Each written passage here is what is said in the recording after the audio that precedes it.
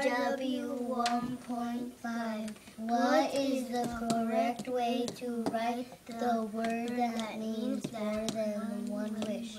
Show your solution. Step 1. Copy the word.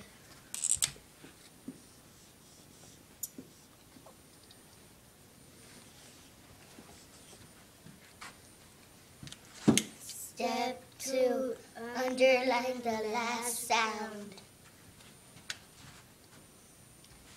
Step 3. If it ends with shh,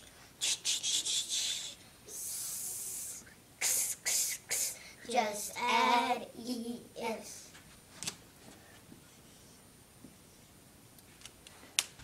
One wish.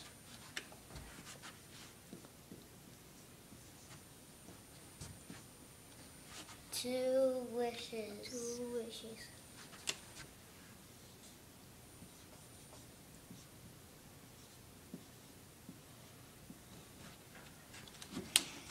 Angeles.